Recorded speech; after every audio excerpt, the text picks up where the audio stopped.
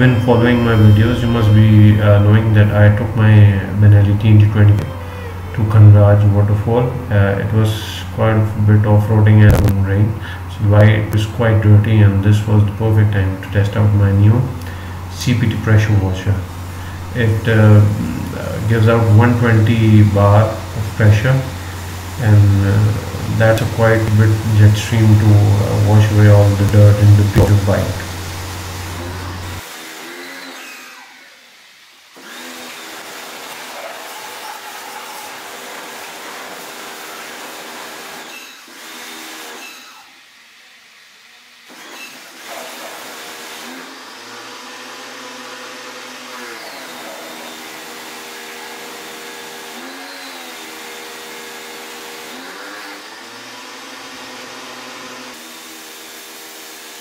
The top of the bike. I haven't used the stream. So I was I was sure uh, just to spray water on top and uh, not to uh, get the water inside the battery compartment or the ECU or the place where uh, the fuses and uh, all those relays are placed.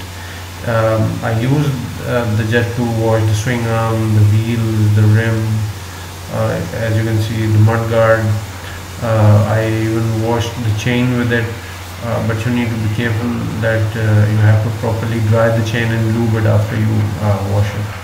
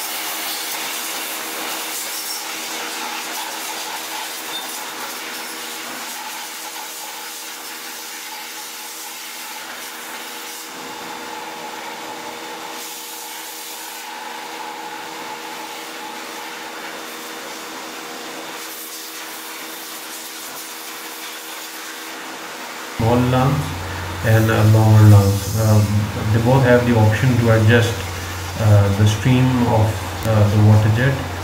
You, uh, you can uh, get a very thin, um, a very narrow stream of water jet to wash away hard dirt and, and then you can just rotate the nozzle to spray the water. But be sure not to use that stream directly on your radiator and uh, any of the triggered parts of your bike or your car if you're washing your car.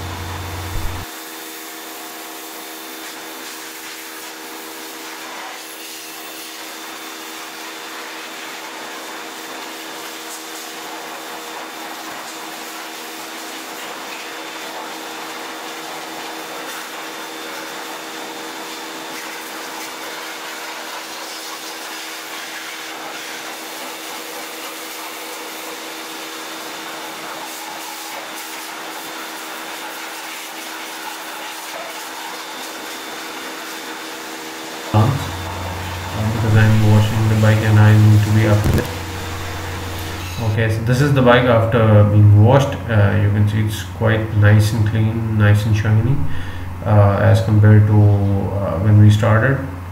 Uh, it's it's it's thoroughly and properly cleaned.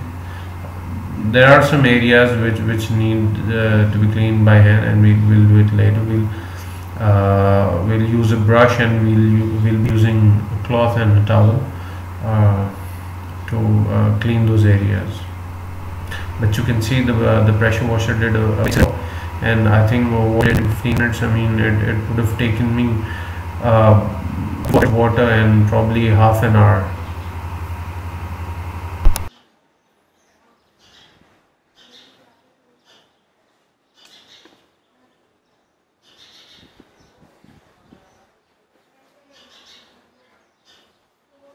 you can see uh, the wash. Now uh, we dry it with the uh, blower.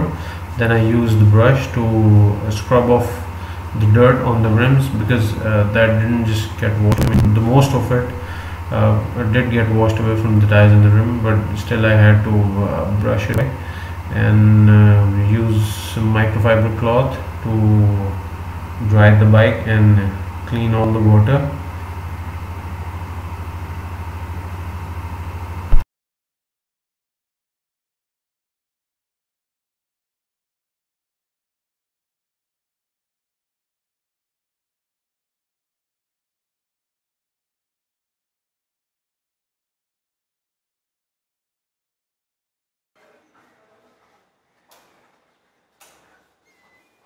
uh, to clean all uh, all those parts which still had some traces of dirt and uh, which needed to be cleaned properly. For example the frame sliders the frame itself uh, the engine parts because I told you I did not use uh, the jet directly at the radiator so I, I purposely left uh, the front end of the engine and the radiator a bit dirty because I didn't use this.